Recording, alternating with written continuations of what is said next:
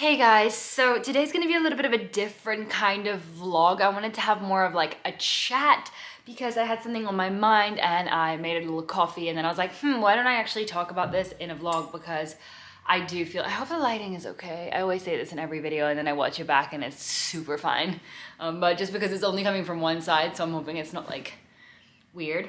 I wanted to talk a bit about changes and making changes in life and kind of my journey with the changes that I've made in the last kind of, I would say year, in the hopes that this might help one of you. Um, I don't know, you know, I, changes are so scary and I feel like I've been thinking about changes for the last few years constantly and been kind of terrified of them because change is scary. It is definitely that uneasy, uncomfortable, unknown feeling of what's gonna happen if I change something. Is it gonna be successful? Is it not? Should I make this move? And whatever it is, it doesn't have to be about career wise, it could be about relationships, it could be about uh, anything, you know, like huge life decisions um, family, like, I don't know, changes are just changes. And I would say that I've changed a lot of things in the last year and either you've noticed it or you haven't. If you've been following me from the very, very, very, very beginning of my days on social media, then you probably would have noticed it. Um, and if you haven't, then, you know, um, I have made a lot of changes. I used to do a lot of different things on social media and I was pretty unhappy. I'm not gonna lie. Sorry, let me just put that on silent. I can't stress enough how important change is though, especially if you are feeling unhappy, unsatisfied with what you're currently doing or how you're currently living. It's very important to take those steps to make those changes. Even if it means losing something that you may have had for years and years, um, something that made you comfortable, something that made you feel good um, in a way that wasn't necessarily long lasting, let's say. I'm gonna talk about my situation just because obviously I'm, I'm, from my experience, I can only talk from my experience, but this can relate to anyone's experience and you can always like see what I'm saying and put it in your own perspective.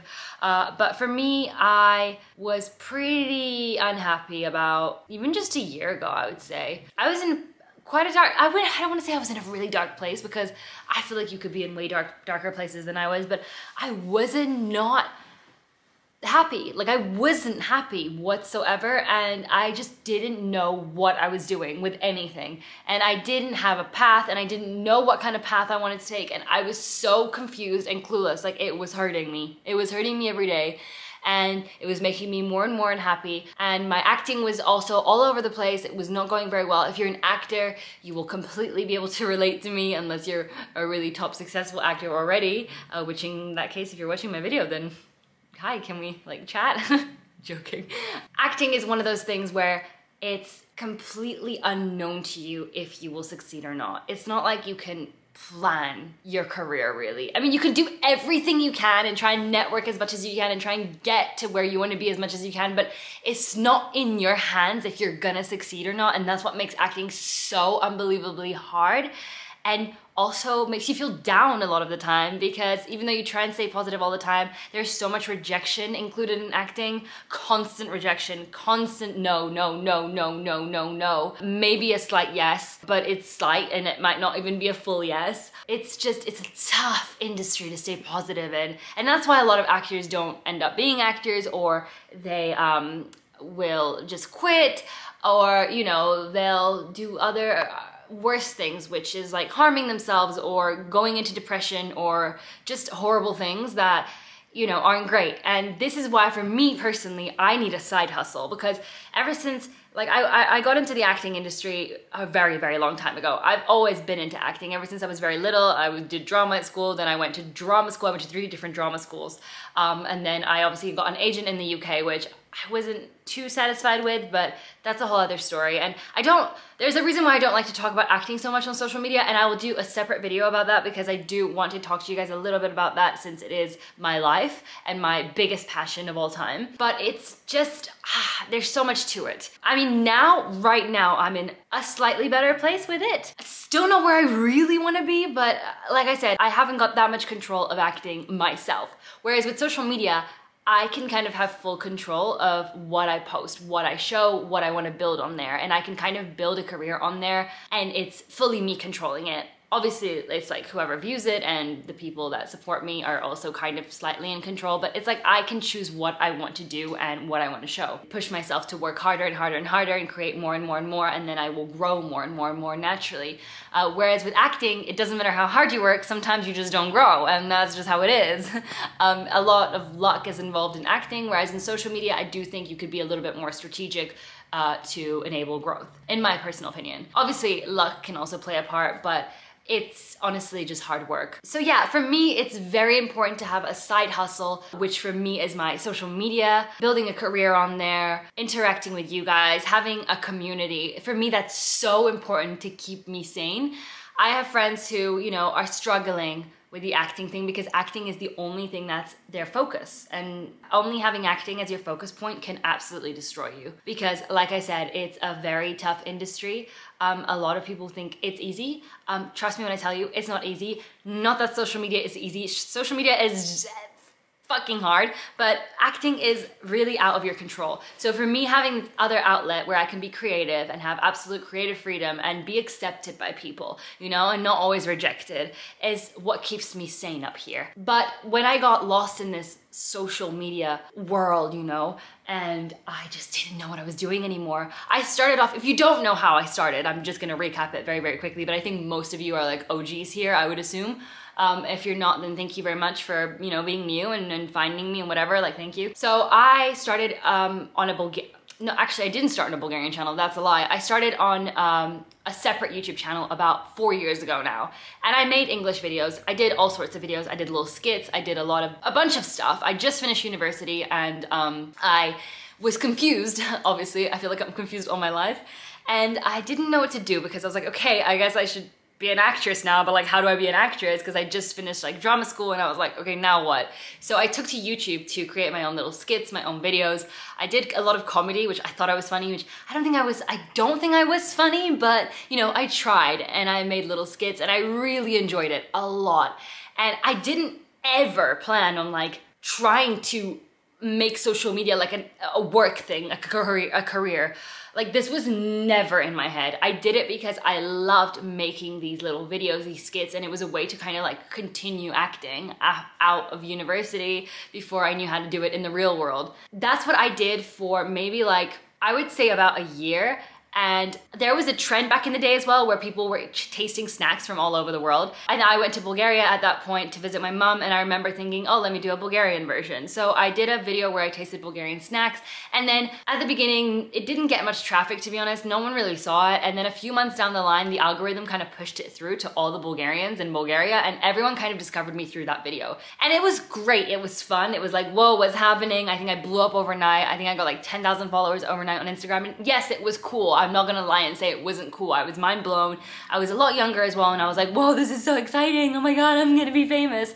But, but then I was confused because all these people now were Bulgarian and they were like requesting Bulgarian videos from me and I was like, this is not a Bulgarian channel, what the hell is happening? Like, I'm so confused. So then, in my head, I thought, okay, well, since like literally all the people on my channel are now Bulgarian, maybe I should make Bulgarian videos. So then I started making Bulgarian content and people loved it. They really loved it. I didn't understand why and I still till this day don't really understand.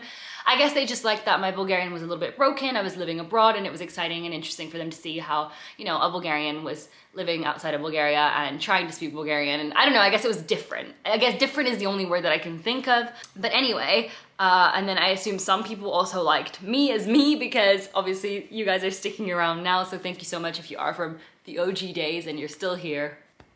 I love you. I'm not gonna lie, I did really enjoy making those vlogs and those videos. I did really like it, but after a while, it just felt like a drag. I really wasn't into it anymore, and I kept trying to fool myself that I was into it. I really did. Um, and I delayed making changes for so, so, so long because I was scared. I was so scared of change. I was so scared of losing everything I had gained. I was so scared of being a nobody. I was scared of being forgotten. And it sounds so dumb. It sounds really dumb. Like it's like saying it out loud sounds dumb, but I have to be honest here and say I was afraid. I was like, well, if I stop making these videos, then no one's gonna like what's gonna happen? I was just so scared. And one day though, I was like, I have to stop. I have to stop because I either can choose being potentially very happy with something new in the future that may or may not work, but there is that happiness option, or having loads of followers and views, but being super unhappy. And I mean, it was an obvious like choice for me. I, was obviously gonna go for happiness. I will never, ever, ever, ever, ever, ever choose a following or fame or whatever instead of happiness. That's just not something that I would do. It's not something I can do because I can tell you, a lot of people think that when you have a lot of followers online, you're happy. But I have to tell you, and I'm not saying this to sound like ungrateful because I'm so fucking grateful that I have a platform that I can even speak to, like you're even watching this. Like who's even listening to me? Why do I have a voice? So thank you for giving me a voice and a platform to you know allow that voice to be heard on. But having followers doesn't make you happy unless you are doing something that makes you happy and the followers are the addition to that. Obviously, the followers, the, you guys, are what enables me to even be able to do this. So, you are the stars in my eyes. You are the ones that are actually making this possible. And it sounds so weird and like, I don't know, but you're giving me this opportunity. So, I'm on my period, so I don't want to get emotional but you are what's allowing me to continue doing this. So thank you from the absolute bottom of my heart that you're allowing me to do this by giving me this opportunity. So thank you. But now that I've actually finally, I think, found where I want to be, what I want to do. Um, like I said, if you've been following me for a while, you will have seen that I've gone through a lot of changes. I've had up and ups and downs. I've changed niches. I've changed video styles. I've changed so much stuff because on one hand, I was testing out content to see what works, what doesn't, what I like doing, what I don't like doing, losing motivation at some point, doing stuff just for the sake of doing stuff so that I stay active on social media. And I think that you, especially if you are a long-term follower, um, an OG, you will notice. I think as a viewer, you just generally notice when people are doing things just for the sake of doing them. And you notice when they're doing things when because they really, really love that and are passionate about it. I mean, I know I do when I watch people and I can see they're making something and they're really enjoying making that thing. It makes me happy too. It makes me enjoy watching it more. When I see someone's doing something just to get views or to try and get I don't know, like I you can see through these things. You just can. It's not hard. And I think now, finally, I have found what I love doing. I, I think so. Let's stay positive about it. I feel so passionate. Ever since I turned vegan this year, I didn't know it was gonna change my life the way it did, but I have to touch knock wood that since the beginning of 2021, which is very recent, I know, I have had a completely different mindset on so many things. I feel alive, I feel positive, I feel passionate, I feel driven. I just, I want to create, I want to work, I want to be successful, and I want to help others. And I think that is what I was missing in my social media page, my profile, my, my branding. Like, I just didn't have a purpose, I didn't have a point. And I know a lot of people, you know, reached out to me and said, Your vlogs really made me happy like I loved your vlogs. Um, they, you know, made me feel great when I was in a really dark place and thank you for making me laugh. And that is incredibly like touches my heart and I'm so, so glad that I was able to do that for some people. But there was nothing in return for me. I didn't feel a reward from the videos I was making. I didn't feel like I was growing or there was a potential future in that. There was no career for me in my eyes. So now I finally feel like I have that sort of building and it's gonna be slow and I know it's gonna be a process and I know I'm still gonna lose a lot of followers because I am losing daily followers, bam, bam, bam, left, right, and center. Because, you know, I'm changing, I'm making big changes and not everyone's gonna be into it and that's 100% fine. I'm never gonna expect everyone to be into everything I do. Like that's crazy and I can fully understand if people are bored or just over it or don't like it and they wanna leave, like that's fine. That is absolutely fine because I'm sure I've done it too with creators that I used to like and now I'm like, oh, it's not really my vibe and I leave and that's fine. But I'm just excited to, you know, keep you guys that are still here, which I'm so grateful for that. If you are here and you're still interested in what I do, then you my girl or my boy. And you know, if you're new, then I'm so excited to have you join this community and I'm so excited for more members to join and I'm just excited to build this new like life and new I don't know, I'm excited and I, I really pray to God that this will stay and this will be it for me. Like, I want this to be it. And of course, I have my acting, which is the biggest passion, the biggest dream. Hello, sweetie. Come here, you're my biggest dream, aren't you? Wooey. It's my biggest passion, it's my biggest dream, but like I said, it's something that I can't always fully control, and it's something that because I'm so passionate about it, it can also put me in a really dark place when things aren't going the way I want them to. So I need this side hustle and this stuff right now that I'm doing, taking care of my health, taking care of my mental health as well, not just my physical health, eating well, teaching others how to eat well, um, or like not even teaching, inspiring. I don't say teaching because I feel like everyone has their own way of living and I think that's fine. I don't think there's a right or a wrong, but I think there are ways to better yourself and make changes that are positive. I, I, feel like people see changes as a bad thing a lot of the time. You know, when you see those like YouTube comments, people are like, oh, I, w- I miss the old Olivera or I miss the old her or this and that. And you're just like, I miss the old Miley Cyrus. You're like, dude, these people grow. It's normal. They're adults now. Like, they're, they're building a career, they're living their life, they're growing. And it's scary. It's very scary if you don't change, actually. I would be concerned. So I think it's important to change and grow. And I think changes can be incredibly powerful and positive, and they're very, very important. So don't be afraid to change. Please don't be afraid to change. It's gonna be scary. You might not love it at the beginning, and it might feel like everything is just going downhill and nothing's working. And you might be afraid. Are people gonna like like what I do? Um, are it's, it doesn't have to be a career thing. Like I said, it can be a family thing. It can be a relationship thing. But if you think in the long run it's gonna make you happier, then just do it. I promise you, it's not gonna be easy. It's not gonna be easy. Don't expect like you're gonna wake up and everything's gonna be great, but it's a process. It is a process that you need to go through, but there is a light at the end of that tunnel. And if you've been thinking about making changes, but you haven't been sure, right now is your sign. I'm telling you, make the change, do it. Just rip it off like a band aid, make it, and go through it slowly, day by day these things take time, like I said. It's not gonna be instant, but it will be so worth it in the end when you feel better and happier. God, happiness is literally the number one thing in life. You need to be happy. Oh my goodness. It's so important. It beats everything else. And um, yeah, anyway, I'm gonna stop talking because this video is 20 minutes long and um, I don't wanna make it any longer, but I hope that you can kind of understand where I'm coming from and why I've made the changes I've made. And I'm sorry if a lot of you miss the old me, but she's gone and she's probably never coming back again. Um, but there's a new me and a happier me, and um, I don't know what I'm gonna do if I'm ever even gonna go back to making Bulgarian videos again. I don't know. Maybe. Honestly, maybe. I don't know. I have never said I'm never gonna do that again, but if I do, it will be completely different content and it will be something that I'm extremely passionate about and something that I want to help motivate, inspire people to do cool, better, cool things. Cool, better, cool things. I don't know. You get what I mean. So yeah, anyway, Ocho and I are gonna go.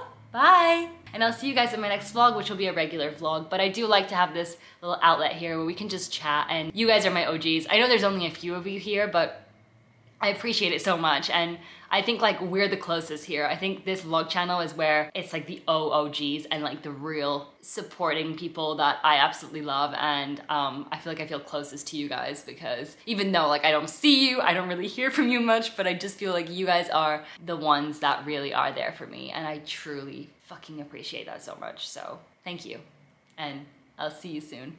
Take care of yourself and make that change if you need to. Bye.